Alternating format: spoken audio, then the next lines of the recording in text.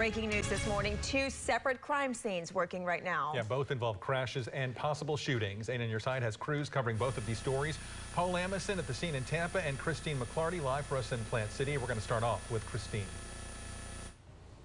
Hey, good morning. Right now, we're at Wilder and Williams Road. Within the last few minutes, a forensics unit arrived on scene. And right now, you can see somebody with a flashlight going around and taking pictures of what is an overturned car just down this road, flipped completely on its side on the left bank of this road. There's more than 20 Hillsborough County Sheriff's deputies currently on scene here. According to the Hillsborough County Sheriff's Office, this is a one vehicle crash and there are reports of a shooting.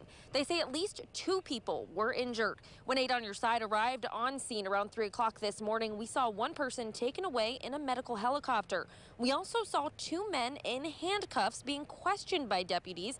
It's unknown where they are now or their involvement in this case. The sheriff's office says right now details are limited. We're still working to learn the cause of this overturned car, why there was a shooting, and who is involved. Stay with 8 on your side for the latest on this story. Reporting live in Plant City, Christine McClarty, 8 on your side.